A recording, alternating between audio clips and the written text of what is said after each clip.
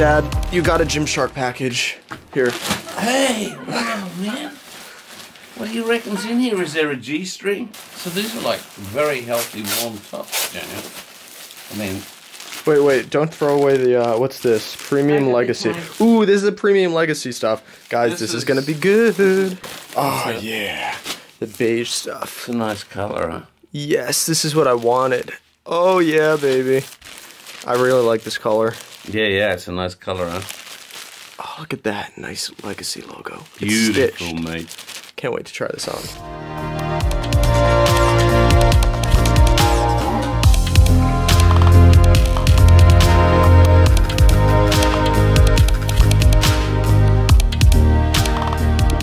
What's up, ladies and gentlemen? Today we have a chest workout in the homemade basement gym, and it's currently 3:38 in the morning, so I have to be relatively quiet doing this voiceover. But I'm basically just going to take you through this workout and give some recent updates on what's been going on in quarantine.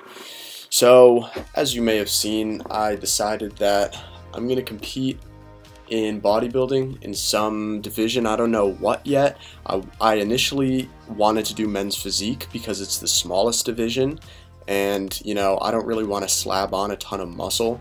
Um, but a lot of people are saying I should do classic because I have good legs and I should show off my legs, which is kind of an ego boost because I've always considered myself to have pretty shitty leg genetics. But um, I definitely would like I, I like the idea of showing off legs in classic. I don't like being covered by board shorts. But the size in classic is like for you to be competitive you got to be really big. And um, i just don't know if i want to be that big from like a uh, aesthetic standpoint like and also the amount of gear you know i'd end up having to take if i wanted to really get competitive in classic wouldn't be that healthy, and I'd kind of have to jump in with both feet if I wanted to do classic. Um, and I don't know if I want to be.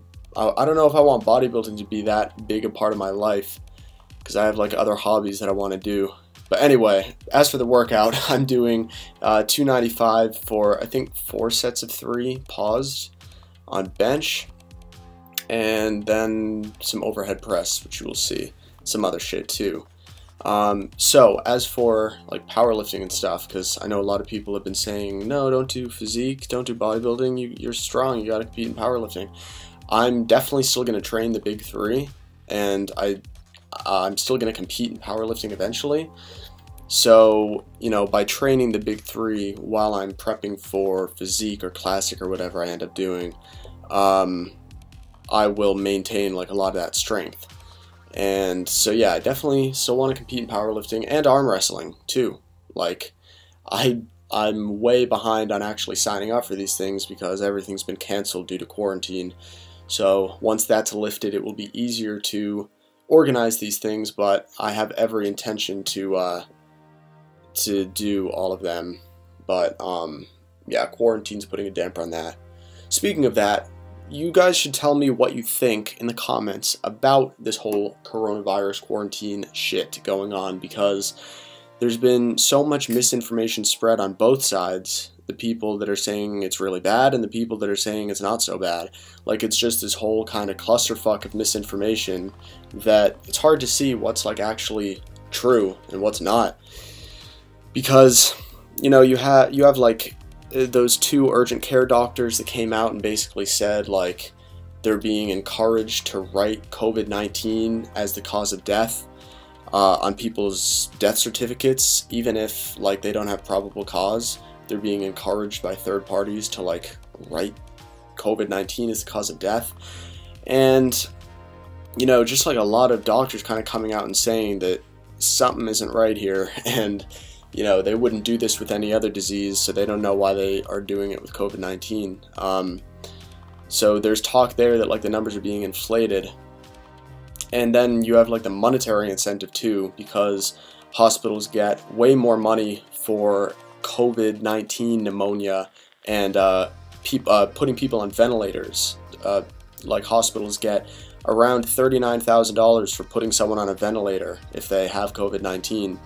So obviously there's some monetary incentive there, and you know I'd like to think that hospitals and like the people in charge of maintaining public health are altruistic and you know benevolent and whatever but um, i know that money is a huge incentive so tell me what you guys think in the comments because like I, I just don't really know what the public consensus on this is. The mainstream media says that it's like a really big issue, and then kind of the intellectual dark web is saying that it's a giant reptilian scheme that was invented in a Chinese lab. So we're getting two very different narratives from each side, and yeah. Anyway, um, so I moved on to some Arnold press here, and I think I did three sets of 12 or something, three sets of 10 maybe really trying to grow shoulders in case I end up doing um, men's physique. I want to obviously have really capped delts, more capped than they already are. Yeah, that is basically it for the voiceover. And oh yeah, then I went upstairs and did some pull-ups at the end here because I really need to blow up my back if I want to do well in physique. I've never really taken back training seriously because it's just like kind of not as fun as chest. And I don't know, I've just never had a huge incentive to really take back training seriously. But as you can see here, I think I did like three sets of 15 or something, just kind of throwing in some bodyweight pull ups at the end of my chest workouts, on top of doing much more intense back days. Trying to, uh, yeah, grow. Or was this body weight? I can't see with the voiceover going. Yeah, this was body weight. So, anyway, as for the acne, you can see I still have some acne going on. Um, but it is clearing up. It's just a really slow process. Like, I've always kind of had bad back acne. It's really annoying. I never really had face acne or anything, uh, except for when I was like 13, 14. But I've always had back acne, and it doesn't really seem like anything I try fixes that. And like, I've got the hyperpigmentation going on too, those dark spots, which make it hard to get rid of. Um, but Anyway, now it's time to watch me flex, because that's what I do.